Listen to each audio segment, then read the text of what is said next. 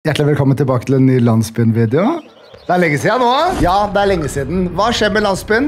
Jeg veit da pokker, jeg. Men jeg har greier å gjøre Landsbyen, så jeg tenker å gjøre det nå. Noen av dere har kanskje hørt meg kakle litt om et fjell som er rett ved siden av huset mitt i landsbyen. Jeg liker ikke det fjellet. Og jeg bryr meg om mange ting jeg, i livet og i landsbyen, men det er ingenting jeg bryr meg mer om enn det fjellet, og at det trenger å fuckings bli fjerna. Så i dag mine venner, mine kompanjonger, mine brødre, mine søstre, skal vi fjerne et fjell.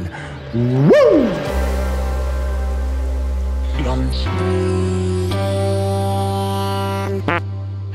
Med Fred Krig. Popping right inside of Minecraft. Og her bæes det og voffes det. Lullull. Doggo lullull 2,0. Å, fy fader, jeg så ikke Boffy. Jeg ble redd. Og Donatello. Ok, greit. Eh, Jeg elsker dere. Pappa må på jobb. Det er mye arbeid vi har foran oss. Ass. Jeg, jeg, jeg vet ikke om det der er sånn at det er for mange blokker å fjerne, rett og slett. Det kan faktisk være. Vi får se. Vi har bra utstyr, men skulle vi stjålet oss en liten beacon? Jeg tror vi skal låne beacon fra borgermester Fred Krigsplass. Ja. Det syns jeg høres ut som en god idé.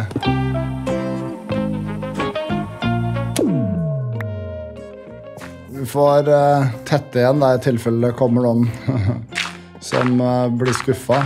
Jeg har tenkt å levere tilbake, altså, men greia er egentlig at sånn, det er, er jo basically min beacon. Jeg har donert alt av utstyret til den. Riktignok så stjal jeg den stjerna fra, fra Victor, da, men uh, det var bare fordi at jeg følte at jeg fortjente stjerna mer enn han. Det må være lov å ploppe den ned her, da. Og der, ja.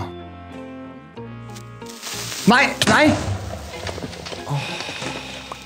Jesus. Hva, hva er det jeg har gjort gærent her nå, da? Der har du den, herr Beacon. Der, ja, baby! Sånn, og vi vil ha den, og Haze 2, boom.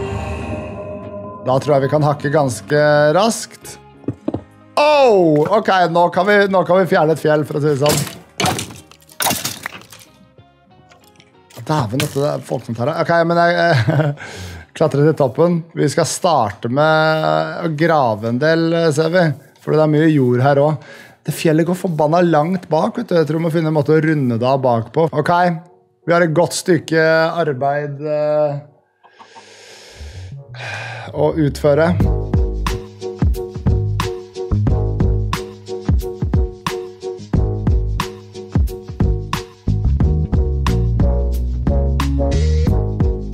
Et problem har slått meg, bortsett fra den zombien som akkurat slo meg.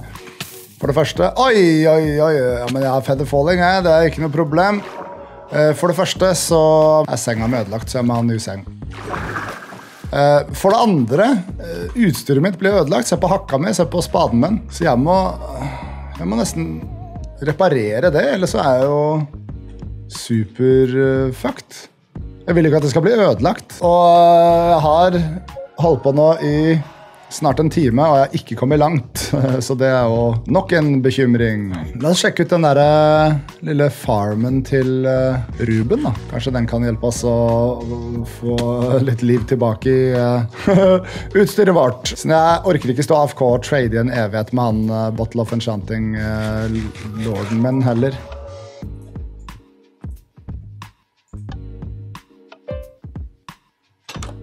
Der er vi inne.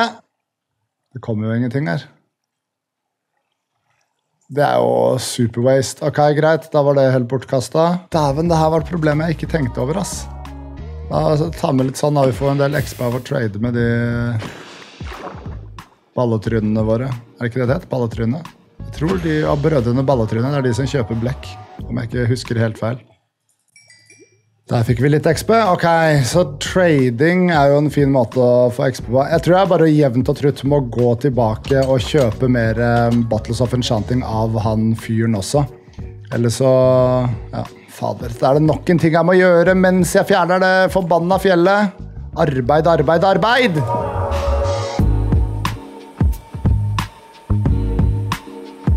Gull, glowstones, flasker kjøper vi. Bottle of enchanting. Enderpearls kan vi også kjøpe, så det kan jo være litt nyttig for oss nå, faktisk. rett og slett. Og reset oss med en gang. Da gjør vi det en gang til. Boom, boom. Og nå er den, nå er den fullt reparert. Da kan vi fullt reparere den her. Uh, greit, da er vi klare for å jobbe på igjen. Uh, ok, Jeg tror det her kommer til å ta ganske lang tid, ass, for å være helt ærlig, men vi peiser på!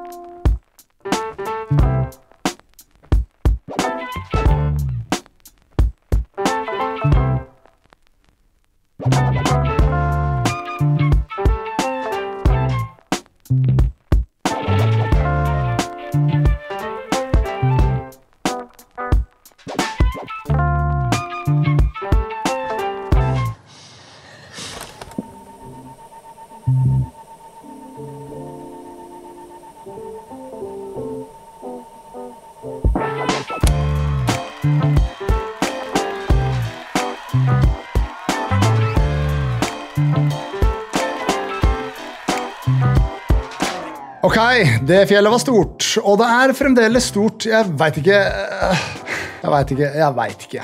Ikke om jeg kan Jeg orker ikke gjøre mer med det fjellet nå. En annen ting er at når jeg clearer fjell, og så møter jeg den stygge, stygge steinen her, da må jeg fjerne det. Og nå som jeg merka sånn Ok, det fjellet er for stort. Det tar tolv timer å kvitte seg med.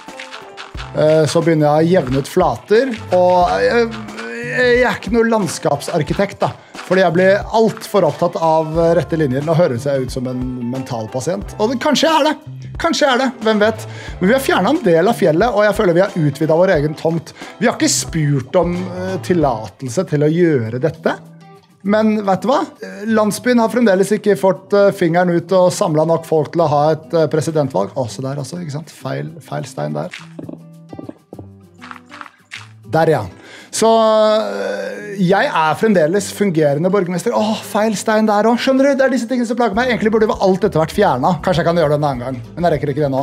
Her har vi et fint lite hus, da. Et beaconhus. Kan lage en tunnel gjennom den beaconen her. Altså, selv med den beaconen her, så rakk jeg ikke gjøre mer enn det her.